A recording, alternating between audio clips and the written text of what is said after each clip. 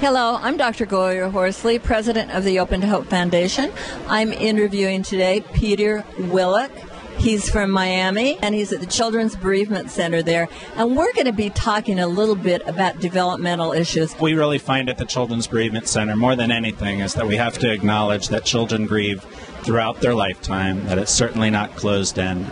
And at different developmental stages, whether they're elementary school, middle school, high school, or young adults, um, their loss experience might shift and it might change, and the amount of resources and support that they need is going to shift with that as well. Well, I think it's important to recognize that children grieve differently. Um, there's no right or wrong way to do it, that some people are talkers and some people are listeners, some kids will cry and open up and share their emotions, and others will do it better with expressive arts and reading and drawing and things like that. Or maybe playing basketball.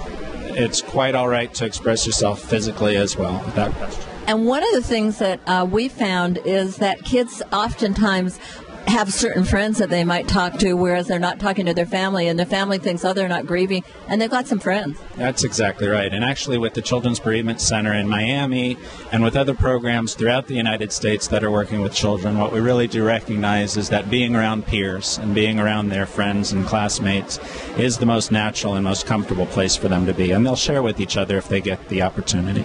And you know, sometimes it's scary for kids to see their parents cry and be in those kinds of situations. That's true. And not only that, but parents will often withhold their own emotions because they don't want to seem fragile and they don't want their kids to get scared and feel that they can't handle things. But they make the mistake often of not giving them the example and not being a role model for them in that expression. They shouldn't fall apart. They should find resources and support for themselves. But certainly, crying in front of a child is a good example. Have you found anything with the new social media that's been different?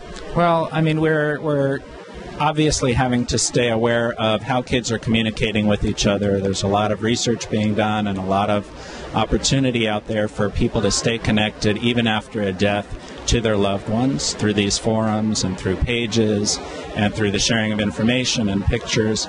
And we really do need to embrace it on some level, not fear it. Um, it's just another opportunity, really, for kids to stay connected to each other find support that they need, and memorialize the people that they've lost. Thank you so much for being on our show today. It's been my pleasure. Thank you so much.